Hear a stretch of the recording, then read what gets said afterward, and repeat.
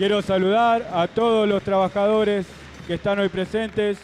en este encuentro, en esta continuación al encuentro de Atlanta, en especial a los que participan por primera vez en un evento como este, porque muestra un avance en el proceso de formación y de conciencia de los trabajadores,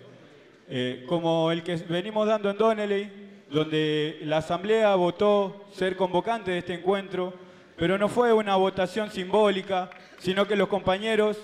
tomaron, como, tomaron la responsabilidad de participar y hoy hay más de 100 compañeros de Donnelly presentes.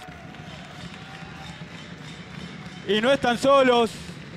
no están solos, también está la Comisión de Mujeres de Donnelly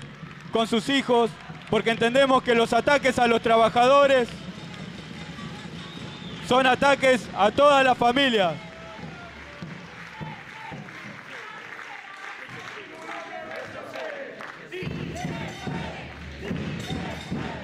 Si una mujer avanza, ningún hombre retrocede. Compañeros, compañeros, queremos que este espacio sea para coordinar las luchas contra los ataques reales. Queremos que este espacio sea para coordinar las luchas en defensa de los compañeros de Gestam, a los compañeros de la alimentación, los compañeros de Calza, los compañeros de Shell, los compañeros de Unilever, los compañeros docentes, también a los compañeros de Donnelly, donde desde que nos venimos organizando hemos eh, conquistado diferentes eh, consignas como el, salario, hoy también estamos por una mejora en la mezquina paritaria que cerró el gremio gráfico y también estamos peleando por las 40 horas semanales y los fines de semana para nuestras familias. Pero sabemos que ninguna de estas conquistas va a ser posible si no defendemos los puestos de trabajo. Hoy Donnelly está amenazando con más de 30 despidos. Hoy venimos acá a solidarizarnos con todos los compañeros en lucha y también a pedir la solidaridad de todos ustedes en caso de que la patronal siga avanzando. Entendemos, entendemos que este espacio eh, muestra cómo eh, avanza la conciencia de todos los trabajadores, que no, eh, no solamente reclaman hoy por salario o, o también por, por su puesto de trabajo, que sabemos que es lo más importante, hoy también nos unimos en contra de la criminalización de la protesta, nos unimos por la absolución de los petroleros de las eras, como también hemos mostrado ese avance